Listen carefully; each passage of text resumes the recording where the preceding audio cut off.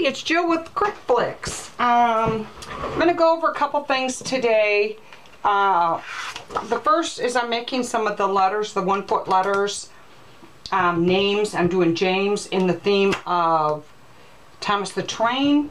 And I'm doing, uh, what is that here? The other name here. What do I have? Can't believe I forgot. Oh, Jocelyn um, in the theme of Frozen.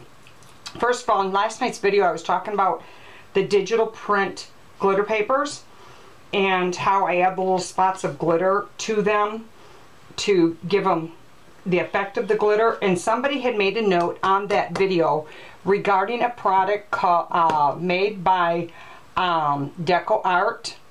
And one of them is called Glamour Dust. And the other one is Twinkles. My husband, I sent him to the store to get them for me. Um, here's the Twinkles, which is like a liquid glitter, clear.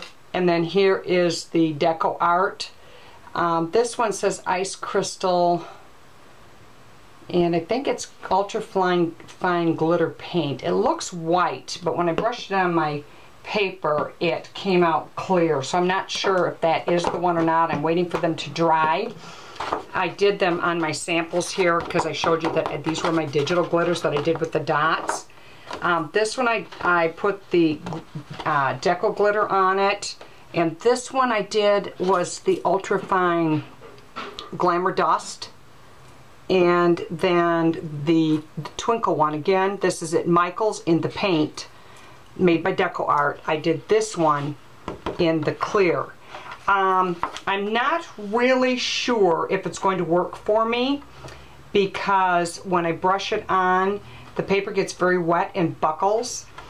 Um, I'm going to let it dry and see if it will flatten because with this, the way that I do it with my, um, just by putting my dabs of glitter all over it, my paper stays flat. It doesn't buckle up. This one, um, I don't know if you can tell on the camera, but it's like wet paper. You can tell from the back more. It buckled. Now, um, again, this one buckled really bad. I just brushed it on, but it made it wet, and the paper's all. So I'm not really sure. I will let you know when that dries, if it dries flat like these, in the way that I did them.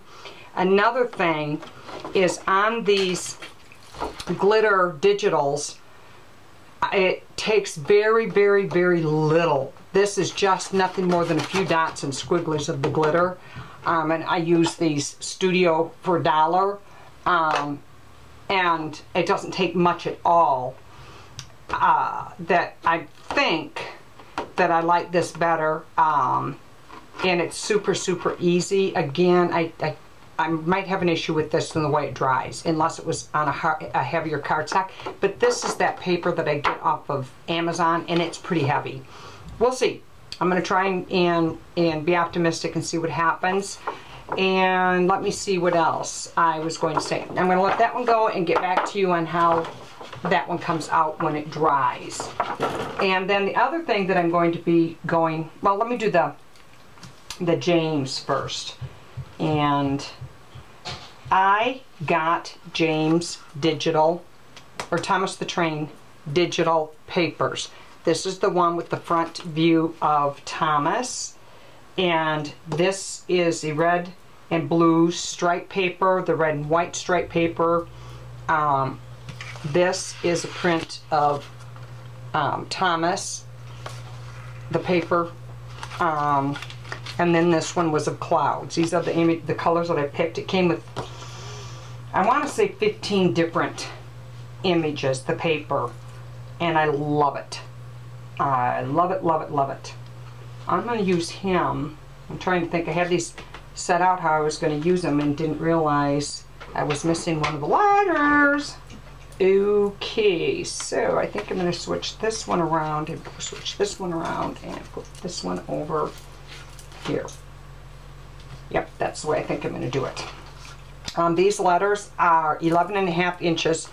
Um, and what I did is the Arial black font in my Silhouette Studio um, font library. and then after I did the letter and colored it, the print, you know, the print that I wanted, I did the offset. And I did the offset of the default. I didn't change the settings at all. So I believe the default is 0.125. And that's what I used for my solid background. And um, again, each of these letters, um, I pulled it to a 12 inch sheet of paper um, because the problem is, is I cannot get them all exactly 12 inches tall because some of the letters are really wide and you want to keep them uniform in height. However, the M is 12 inches wide. You can't make it 12 inches tall because the M will not fit on a sheet of paper. So they are more on the longs line 10 inches high, but a couple of the letters are 12 inches wide. And again, that's just the way it is. There's nothing you can do about it. Um, you can't change it. So I'm going to, I want to start and end with Thomas. So I'm going to put him on the first letter.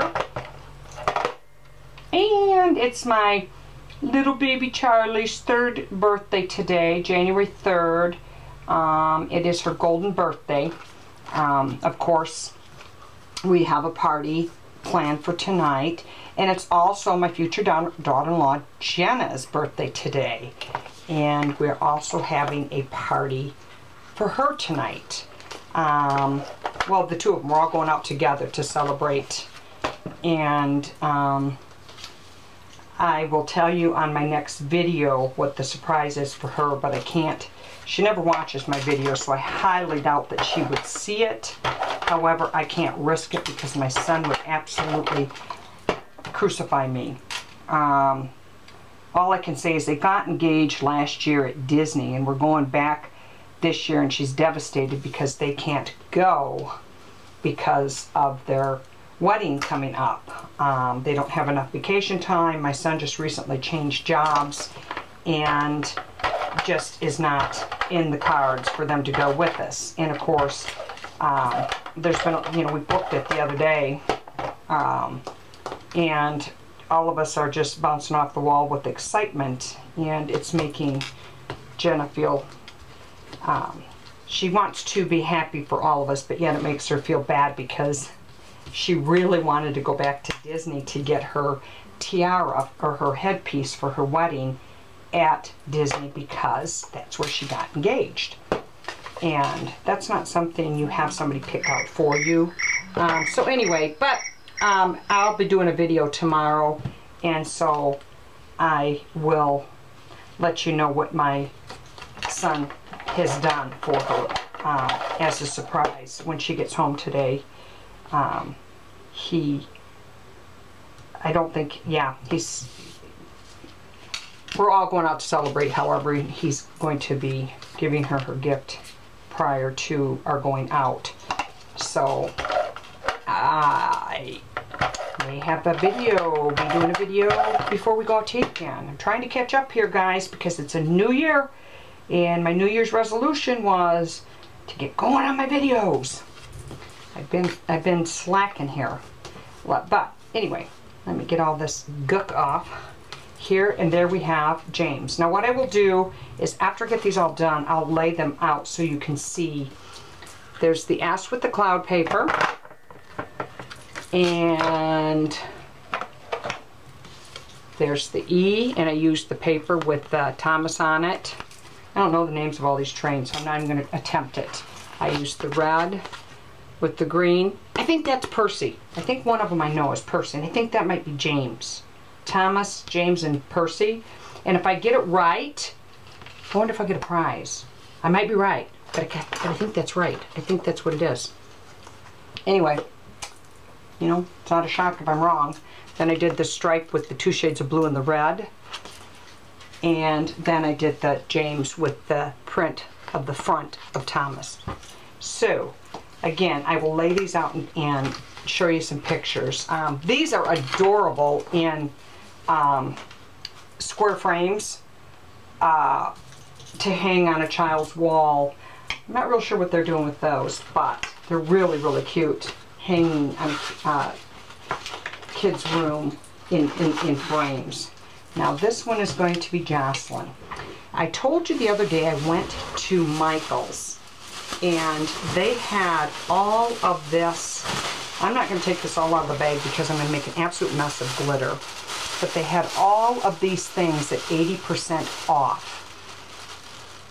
These pieces I will be using when I do like my Little Mermaid pieces, when I do my florals under the sea, because I love to add the glitters and the bling and stuff. And there was pink flowers in here that I'm going to cut off these pink flowers and use these on some of my pieces. Um, and just a ton, a ton of stuff here that I'm going to be using. I bought, I think, pretty much everything they had. They ended up to be like 18 cents each. And so I said, I'm going to buy them all. And I'm going to use some of these on this. This is the um, Frozen uh, theme. And I have a little Olaf here. And you know what I think I'm going to have him doing? This glitter is messy, but once you are through cutting it and, and putting it together, I'm going to have Olaf holding a glitter branch. How do you like that? And I am not going to use my good scissors. I was very close.